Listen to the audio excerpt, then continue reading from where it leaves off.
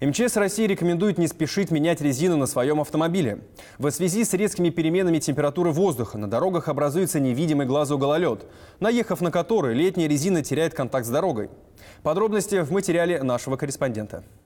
Весной капризы погоды дают о себе знать. Резкая смена температур не только влияет на здоровье метеозависимых людей, но и увеличивает риск возникновения аварий. Сцепление резины с дорогой уменьшается. Перед автолюбителями встает серьезный вопрос – менять зимние колеса на летние или повременить с таким смелым решением. Точных советчиков здесь нет. Положиться можно только на свой опыт и погодные условия. Специалисты автосервисов рекомендуют подождать, пока пока среднесуточная температура установит отметку 7 градусов выше нуля. Такую цифру считают оптимальной для смены зимы на лето. Надо учитывать, какая резина стоит, потому что если человек, э, водитель транспортного средства пользуется шипами, то, конечно, в сухую погоду нежелательно ставить шипы. Это вредит и дорожному покрытию, и также шинам. Можно пораньше, заблаговременно переобуться, дабы не попасть в очередь э, в пик переобувки. Если же вы решили заняться заменой колес самостоятельно, то здесь также эксперты советуют не торопиться. Нужно тщательно проверить сохранность сезонной резины. Но есть и такие автовладельцы, которых изменчивая температура не испугала. И своих железных коней они уже переобули. Не думаю, всегда в середине апреля перебываюсь.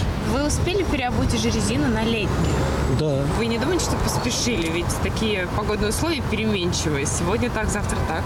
Да, переменчивые. Ну, мы сменили давно, потому что нам далеко ездить не надо пока. Такой рядовой на первый взгляд шаг смена автомобильной резины на самом деле требует внимания, ведь от этого напрямую зависит безопасность на дороге. Поторопившись переобуть свою машину, можно поплатиться здоровьем и даже жизнью. Анна Троян, Алина Сирозидинова и Никита Скраган, телеканал ЛРТ.